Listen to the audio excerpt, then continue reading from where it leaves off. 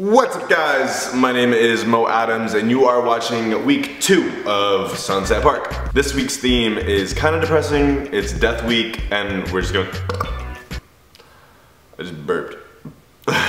this week's theme is death week. It's low-key kind of depressing, but I'm gonna try to make it as positive as I can. And we're just gonna be talking about um, times that we almost died, pretty much. So here's my video about death and me almost dying. Let's begin. Actually, before we even begin, I almost died multiple times in my life. Like, it's not just like a one-time thing that I was like, oh, you're about to die. No, I was supposed to be dead like seven or eight times or like nine times. I'm a cat. I'm, I was supposed to be dead. I'm dead. All right, so the first time I had a near-death experience was my fourth birthday party. So I was actually supposed to die on my birthday, how great. All right, so my birthday party was hosted at my house. Family and friends came over. Um, we had great food, etc., etc., great time. And then when it was time to cut the cake, I was nowhere to be found. Oh. Everyone at the party is like, where's Moe? Where's Moe? It's time to cut the cake. Where's Moe? So while everyone was searching for me, what I was doing was being completely butt naked and peeing into a pool. I, I thought it was a toilet. I was four.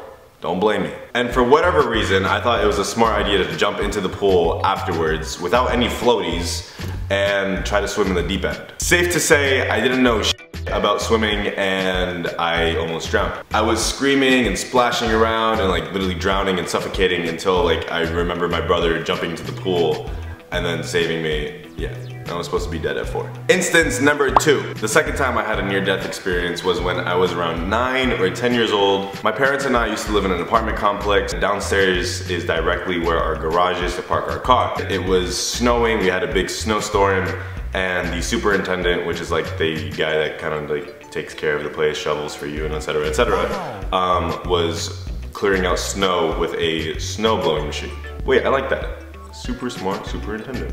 Super smart superintendent. He's not super smart, he's super stupid. The superintendent left the snow blowing machine downstairs while it was still on and forgot to turn it off and the snow blowing machine runs on gasoline and the waste of that is carbon monoxide which traveled up to our apartment and made our whole apartment into a carbon monoxide bomb. My dad was getting ready to go to work and me and my mom started to feel really, really dizzy. 30 minutes later, I saw my mom passed out on the couch and I started to feel sleepy, so I went on the couch too.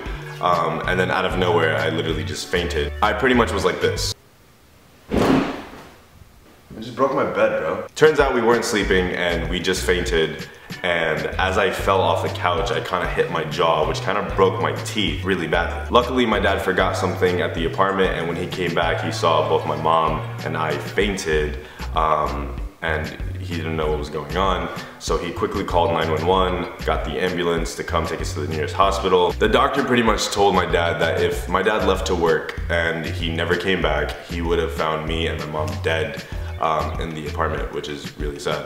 So the third time I almost died is kind of stupid. I was 14 years old and me and my friends were ding dong ditching because we had nothing else better to do in our lives. So we go up to this really sketchy house and I keep ding dong ditching it and this guy keeps answering the door and answering the door and I keep running away. So as I go to ding dong ditch his house for the fifth time, as soon as I reach the doorbell, the guy opens the door with a knife. That wasn't the scariest part. The scariest part was that he was naked and old. His balls were like hanging. His balls were like hanging so low and this guy is like threatening me with a knife. Meanwhile, my friends were screaming, get back, come, come, run. I couldn't even run. I was still staring at the guy's balls. I promise you they were at least like a foot like saggy long. He starts chasing me out of his property and starts to like low-key try to stab me. I was over it. I, I, I, was I was so over it. Moral of the story is, don't go swimming when you're too young. Make sure you don't have carbon monoxide going into your house. And if an old man ever chases you naked, run. So I'm cutting off this week's video pretty short because, well, I'm exhausted and it is 6.43 in the morning and I need some sleep. If you guys wanna talk to me, go ahead and follow my social medias right here and I will talk to you guys and I'll follow you guys back and it'll be all great. All right, I love you guys and until next week, uh, what's a good outro? Stay in school. I'll just do my signature outro. Peace out, Habibi.